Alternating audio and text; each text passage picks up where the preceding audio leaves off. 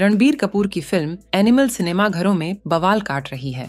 संदीप रेड्डी वांगा के डायरेक्शन में बनी इस फ़िल्म ने रिलीज़ के पहले दिन ही सफलता का परचम लहरा दिया। ओपनिंग डे की कमाई के मामले में एनिमल ने शाहरुख खान की इसी साल रिलीज़ हुई फ़िल्म पठान को धूल चटा दी है। घरेलू बॉक्स ऑफ़िस के साथ साथ विदेशों में भी एनिमल का डंका बज रहा है। World wide opening day collection के मामले में भी इस फ़िल्म ने पठान को पीछे छोड़ते हुए नया रिकॉर्ड बनाया है। फ़िल्म में रणबीर कपूर के अलावा विलन के रोल में बॉबी देओल और रणबीर की पत्नी बनी रश्मिका मंदाना भी अहम किरदारों में हैं। फ़िल्म में जैसे ही बॉबी देओल की एंट्री होती है, पूरा सिनेमा हॉल तालियों से गूंज उठता है। ये बात बॉबी देओल की शानदार फ़ैन फॉलोइंग और फैंस का उनके लिए प्यार दिखाता है। वहीं आपको बता दें कि बॉबी देओल का एक वीडियो सोशल मीडिया पर आग की तरह वायरल हो रहा है। इस वायरल वीडियो में आप साफ़ तौर पर बॉबी देओल को रोते हुए देख सकते हैं। बॉबी देओल की उम्र इस समय 55 साल के करीब हो चुकी है, लेकिन जिस तरीके से उन्होंने अपना खतरनाक विलन अवतार एनिमल फ़िल्म में दिखाया है, वो वाकई में काबिल तारीफ़ है। हालाँकि कई मीडिया रिपोर्ट्स की माने तो बताया जा रहा है कि बॉबी देओल का ये वीडियो उस समय का है, जब बॉबी देओल एनिमल फ़िल्म की सफलता को देखने के बाद अपने आंसुओं पर काबू नहीं कर पाए। तो वही दूसरी ओर ये बताया जा रहा है कि फ़िल्म एनिमल में उनके साथ धोखा हुआ है। रणबीर कपूर की फ़िल्म एनिमल में विलन का किरदार निभाने वाले बॉबी देओल इस समय बहुत ज़्यादा नाराज़ भी बताए जा रहे हैं और उनकी नाराज़गी की वजह है उनके साथ हुआ धोखा।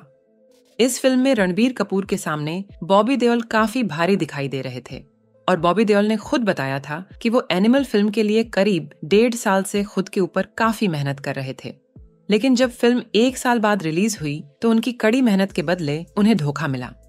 फ़िल्म में विलन बॉबी देओल के सिर्फ़ तीन सीन्स हैं और उनका कोई भी डायलॉग नहीं है। फ़िल्म में बॉबी देओल को एक गूँगा विलन बनाया गया है। आपकी जानकारी के लिए बता दें कि फ़िल्म एनिमल से बॉबी देओल के कई सारे सीन्स काटे गए हैं, जिन्हें शूट तो किया गया था, पर फ़िल्म में उन्हें नहीं डाला गया। और ये सभी बातें बॉबी देओल के चाहने वालों को चुभ रही है।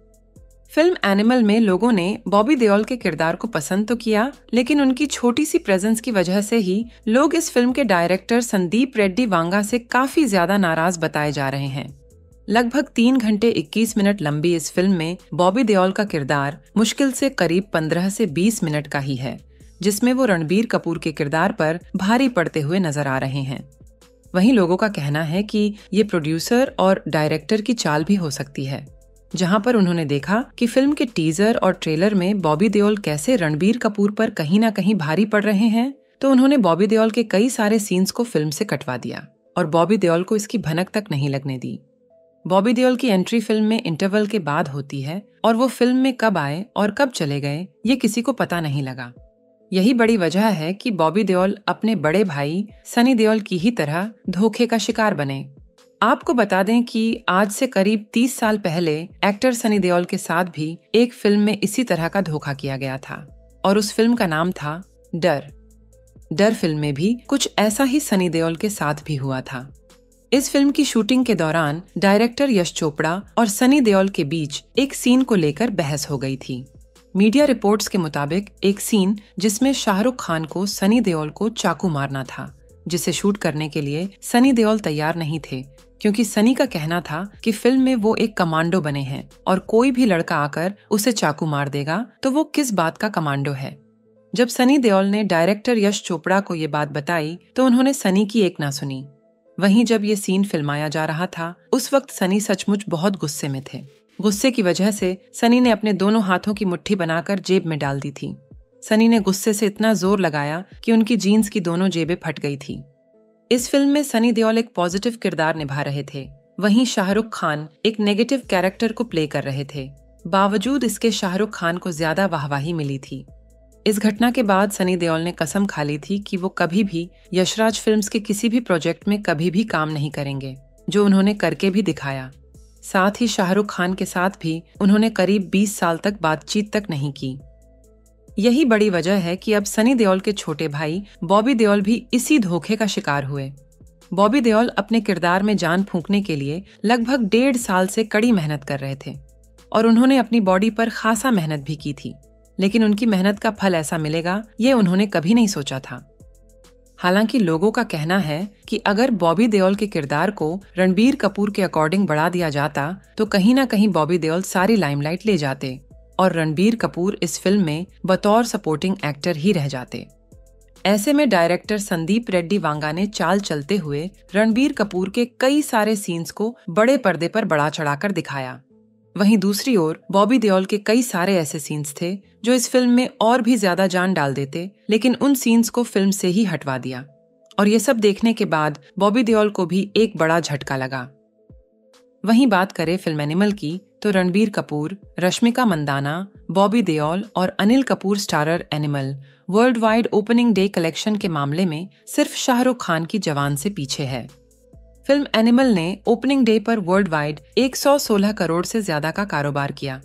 एक सौ उनतीस करोड़ रुपए के ओपनिंग डे कारोबार के साथ शाहरुख खान की जवान अभी पहले नंबर पर है। वहीं पठान ने वर्ल्ड वाइड 105 करोड़ रुपए की ओपनिंग ली थी।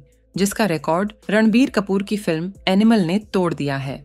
बता दें कि ए सर्टिफिकेट वाली किसी फ़िल्म का ये सबसे बड़ा ओपनिंग डे कलेक्शन है। बता दें कि फ़िल्म एनिमल को सेंसर बोर्ड ने ए सर्टिफिकेट दिया है। एक बात जो दर्शकों के लिए हैरत भरी थी, वो ये कि फ़िल्म में बॉबी देओल का किरदार फ़िल्म में कुछ ज़्यादा नहीं था और एक्टर ने पूरी फ़िल्म में एक गूँगे का किरदार निभाया था। लेकिन बिना कुछ बोले बॉबी देओल ने जो धमाका किया, उसकी जितनी तारीफ़ की जाए, कम ही है। कम और म्यूट रोल में फैंस का दिल जीत पाना किसी भी दूसरे एक्टर के लिए चुनौती भरा होता। लेकिन फैंस के फेवरेट बॉबी को पता है कि फैंस का दिल कैसे जीता जाता है। रणबीर कपूर ने अपने 16 साल के करियर में कुल 20 फ़िल्में की हैं, जिनमें से 11 फ़िल्में फ्लॉप और 9 फ़िल्में हिट रहीं। करियर के लिहाज से रणबीर कपूर के लिए फ़िल्म एनिमल काफ़ी अहम है। इस फ़िल्म में रणबीर अपनी लवर बॉय इमेज से अलग एंग्री यंग मैन के रोल में हैं। फ़िल्म में उनका खूंखार लुक देखकर फैंस हैरान हैं। एनिमल के लिए रणबीर ने खुद को पूरी तरह से ट्रांसफॉर्म किया है मीडिया रिपोर्ट्स के मुताबिक, इस फ़िल्म के लिए रणबीर ने 30 से 35 करोड़ रुपए चार्ज किया है आमतौर पर, इससे पहले वो 18 से 20 करोड़ की फ़ीस लिया करते थे शुक्रवार को भारतीय बॉक्स ऑफ़िस पर, जहाँ रणबीर कपूर की एनिमल ने हिंदी, तमिल, तेलुगु, मलयालम और कन्नड़ में तिरसठ करोड़ रुपए की बम्पर ओपनिंग ली, वहीं वर्ल्ड वाइड 116 करोड़ रुपए का ग्रॉस कलेक्शन किया। वहीं एनिमल के साथ रिलीज़ हुई मेघना गुलजार के डायरेक्शन में बनी सैम बहादुर ने शुक्रवार को ओपनिंग डे पर निराश किया। रणबीर कपूर की एनिमल के सामने ये फ़िल्म पहले दिन चारों खाने चित्त नज़र आई। सैम बहादुर ने देश में महज 6 करोड़ 25 लाख रुपए का नेट कलेक्शन किया। वहीं आपको बता दें कि विक्की कौशल, फातिमा सना शेख और सान्या मल्होत्रा की ये फ़िल्म सिर्फ़ हिंदी वर्जन में रिलीज़ हुई है और फ़िल्म का बजट सिर्फ़ 55 करोड़ रुपए है। वहीं फ़िल्म एनिमल का बजट 100 करोड़ रुपए है। फ़िलहाल दोस्तों, आज की वीडियो में बस इतना ही। क्या आपने फ़िल्म एनिमल देखी है? अगर हाँ तो आपको ये फ़िल्म कैसी लगी? हमें कमेंट करके ज़रूर बताइएगा। मिलते हैं आपसे अगली एक और नई इंटरेस्टिंग वीडियो में। वीडियो में अंत तक बने रहने के लिए आप सभी को दिल से धन्यवाद।